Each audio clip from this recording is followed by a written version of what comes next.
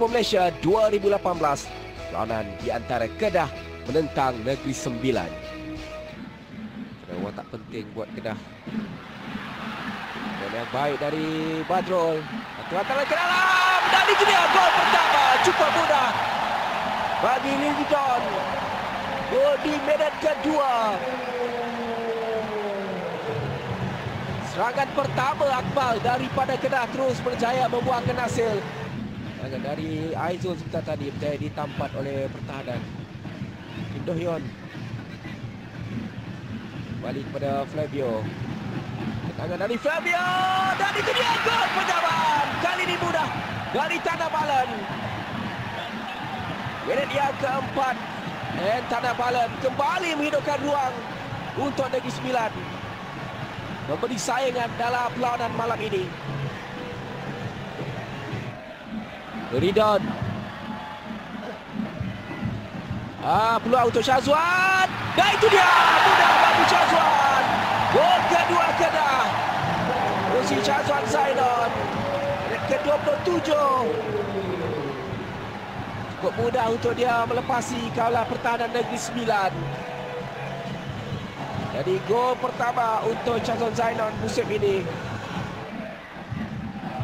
Azwan Tajudin cari Luridan. Sandro ketika ini. Dan sepakat penalti untuk Kedah. Kesilapan daripada Aizor Rizwan. Angkat kaki terlalu tinggi terus dihukum. Ini mudah untuk Sandro.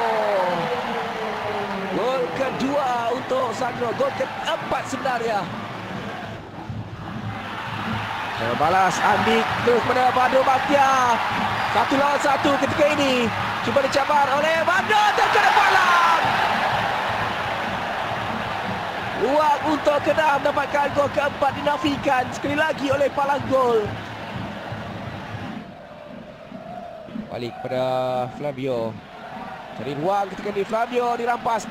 Ruang untuk Velas. Gol kedua. Akhirnya Velas kembali hidupkan dua peluang untuk Negeri Sembilan. Kali ini kalau Velas jaringan ketiga untuknya musim ini.